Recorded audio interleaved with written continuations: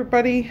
Um, I thought I would do a five month update on my rabbit cages from KW Cages. Um, so I've made a few changes.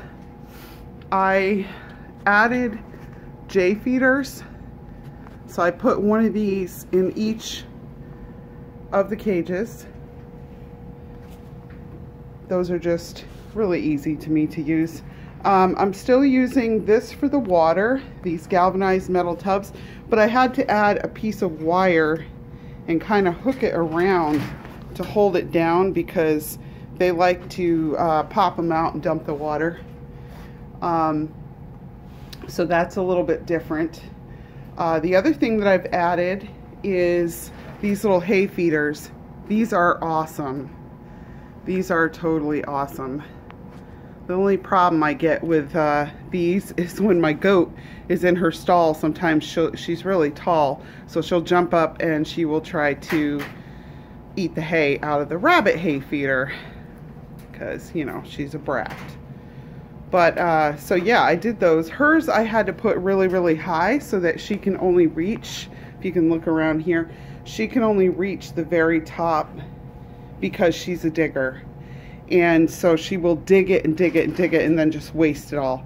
So if I put it up really high, she can't really dig too much. She can only pull it out with her teeth. So, so far that has worked much, much better.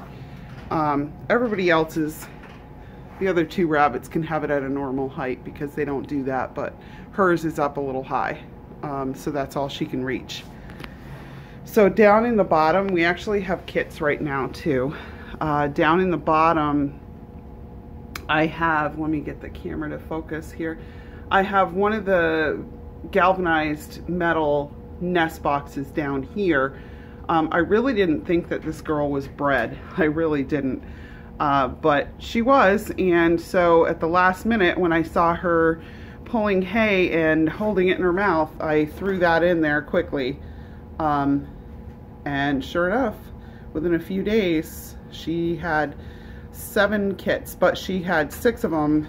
She's a first timer, and she ended up having six of them at the front of the nest box, and they froze to death because, of course, it was the coldest night as of yet this year. So, can't fault her. One survived, so she's got one of hers. And then I also gave her two of the other rabbit because she was also bred um, it was funny because I was out here one day and I noticed her breathing heavy. Now this rabbit here, she's really beautiful, but she is very, very aggressively mean. So um, I noticed her breathing heavy in the corner of the cage. So I said, well, you know, let me see a little bit closer. So I opened the cage and I reached in and she let me pet her and I thought, oh boy, so as she was over in this corner, I was reaching in and cutting a hole for this nest box. I didn't have another one of the other style and I've been wanting to install these and just hadn't yet. So as she was in labor, I was cutting that out. Not very good planning, by the way. um, but it did work out. She ended up immediately going into the nest box and she had seven very healthy kits. So awesome. She's raising five of them, and I gave two of them to the girl down below so that she would have more than one. Um, and plus, one all of she this girl here had seven. Five were white, two were black.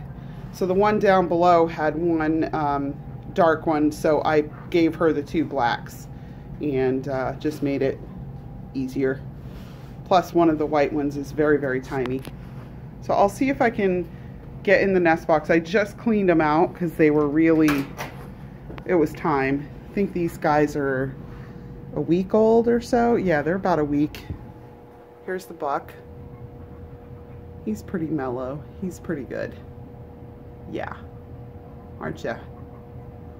None of these are real super overly friendly, but um, so let's see what we can see here.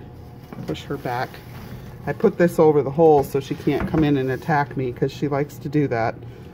All right, so here are the kits. And there are five of them. Let me see if I can get one here. There's one. Fat little things. They're very cute, but there's five white ones. One is kind of a peanut size. It's very, very tiny. Um, look at her come right through. She's like, what are you doing? Um, but it's growing really well. It's just smaller than the others. So, yeah, the cages have worked out great. I The only thing I would do differently, I think, for myself is I would have went ahead and upgraded to the poly trays versus the galvanized, but they're still okay. I just started putting sawdust in the bottom because um, these get really nasty looking really quickly. So I just put the sawdust in. But other than that, they are awesome cages. I cannot recommend them enough. Let me see if I can get like the whole thing in the, there we go. So they're pretty awesome. Can't recommend them enough. Uh, also the nest boxes. The nest boxes are actually from Pointer Hill, I believe, is where I got those. Um, probably not doable if you have a huge rabbitry, but totally doable if you're doing what we are in just a small homestead raising some meat rabbits. Because um, we only really need two nest boxes. So I have another one. I just hadn't installed it yet. So I'll do that before the next litter from the blue girl on the bottom.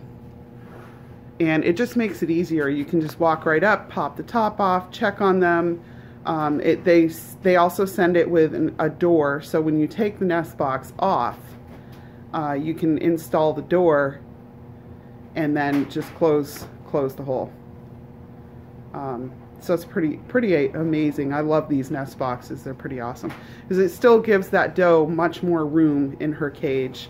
These cages again are 36 by 30 by 18.